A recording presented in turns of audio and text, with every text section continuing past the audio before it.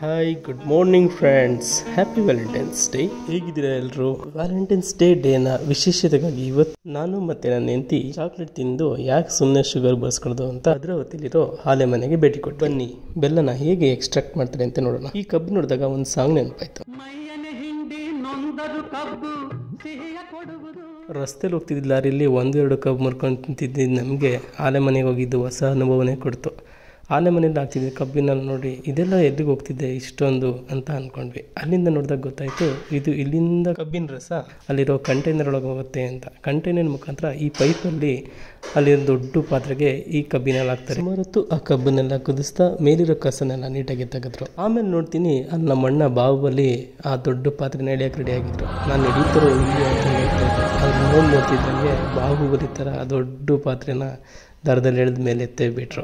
ಇದನ್ನ ನೋಡ್ತಿದ್ರೆ ಒಳ್ಳೆ ಮೈಸೂರು ಪಾಕೇ ರೆಡಿ ಮಾಡ್ತಿದ್ರೆ ಅನ್ನಿಸ್ತಿತ್ತು ಮನೇಲಿ ಚಿಕ್ಕ ಪಾತ್ರೆಯಲ್ಲಿ ಅಡುಗೆ ಮಾಡ್ತಿದ್ದು ನನ್ನ ಹೆಂಡತಿಗೆ ಇಲ್ಲಿ ದೊಡ್ಡ ಕಂಟೈನರಲ್ಲಿ ಬೆಲ್ಲ ರೆಡಿ ಆಗೋದನ್ನ ಅವಳು ನೋಡಿದ್ಲು. ತುಂಬಾ ಖುಷಿಪಟ್ಲು ನಾನು ಒಂಚೂರು ಮಾಡ್ತೀನಿ ಬೇಬಿ ಅಂತಂದು ಸರಿ ಅಂತೇಳಿ ಅವಳ ಕೈಗೂ ಉಟ್ಕೊಟ್ಟು ರಾಹುಲ ಇಲ್ಲಿ ಬಂದು ಅಲ್ಲಾಡ್ಸಪ್ಪ.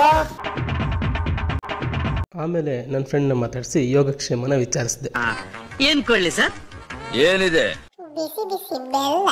ಫ್ರೆಶ್ ಆಗಿರೋ ಬೆಲ್ಲ ತಿಂತ ಆಹಾ ಎಷ್ಟು ಚೆನ್ನಾಗಿತ್ತು. ಆ ಒನ್ ಮೋರ್ ಒನ್ ಮೋರ್ ಅನ್ಬೇಕು. ಅಬ್ಬಾ ಬಾ ಬಾ ಬಾ ಹೆಂಗಲು ರಾಹುಲ?